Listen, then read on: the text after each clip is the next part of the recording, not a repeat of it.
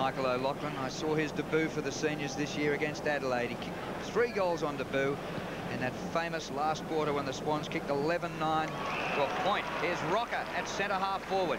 Good use of the body by uh, young Rocca. And he really does have all the physical attributes of a star player. It took them a long time to convince him to actually toss in his lock with the Sydney Swans.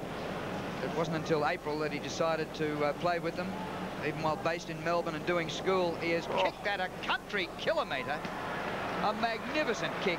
It is just offline, but boy, that'll come down with icicles on it. How does a country kilometre vary from a metro mile? It didn't take very long to get there, did it? That, that one, that was a beauty. That was a beauty. It's a big kick, says his brother. There he is.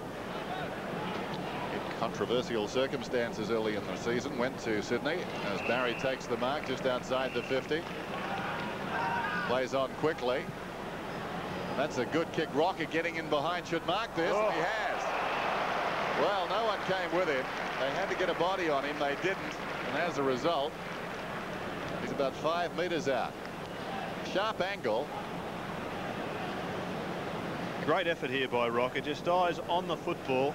And that combination of uh, Leo Barry to Anthony Rocca is something we're going to see very regularly on Sunday afternoons uh, in the late game in the future.